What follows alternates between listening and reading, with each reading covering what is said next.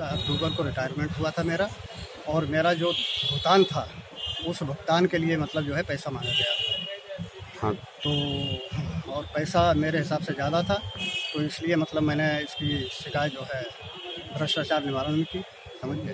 तो उन्होंने मतलब जो है उन्होंने किस तरह से आपकी मेहनत मदद की? उन्होंने हमारा हर तरह से सहयोग दिया और मतलब जो है साथ में भी आए थे।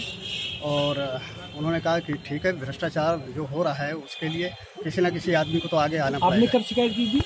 ये मैंने करी थी बारह नवंबर को और दिसंबर को। बारह। तो कौन रिश्वत मांग रहा था आपसे? प्रशांत बाबू। प्रशांत? हाँ। ये कौन है? क्लर्क है। क्लर्क है यहाँ। शिकायत हमें मिली थी अब से तीन दिन पहले।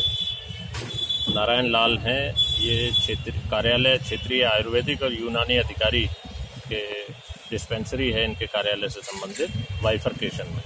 वहाँ ये चतुर्थ श्रेणी कर्मचारी थे भ्रत्य बोलते हैं वार्ड बॉय ये रिटायर हुए हैं, दो महीने पहले करीब। तो इनके ड्यूज थे रिटायरमेंट के। उसको भुगतान के लिए ये लिपिक था, और प्रशांत कुमार अवस्थी। इसने इनसे पैसों की मांग की, तीस हज़ार रुपये आज इसने लेके बुलाया था।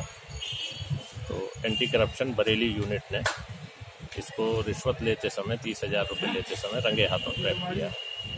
मुकदमा ये गिरफ़्तार थाना सुनगढ़ी क्षेत्र में आईडीआईबीआई बैंक है आईडीबीआई बैंक। उसके थोड़ा आगे यहीं सुनगढ़ी थाने से कोई पचास मीटर दूर पर राम मंदिर के पास। श्री राम मंदिर है उसके पास गिरफ़्तार किया। इससे तीस हज़ार रिश्वती नोट बरामद हुए हैं।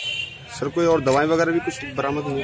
नहीं दवा नहीं। है ये रिश्वती नोट बरामद हुए हैं। इसमें रिश्वत ली थी रंगे हाथ गिरफ़्तार हुआ है। क्या कार्रवाई करना है इसके खिलाफ? इसके खिलाफ धारा सात भ्रष्टाचार निवारण संशोधन अधिनियम 2018 के तहत मुकदमा कायम ये एंटी करप्शन कोर्ट बरेली में पेश किया जाए